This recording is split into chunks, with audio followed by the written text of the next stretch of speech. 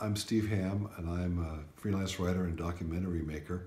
And I'm, with a lot of help from other people, making a documentary about the Italian American experience in Wooster Square, really focusing on the early days, but, but also talking about uh, the, the, the, culture and the community that still exists uh, from those days.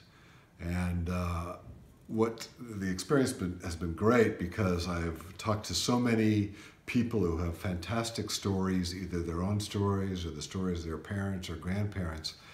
And it's really the great American drama, uh, the immigrant experience, uh, the, you know, coming here to a, you know, an alien land and, and people really making a life for themselves and, and working hard and, and helping each other and uh, making a way and becoming Americans.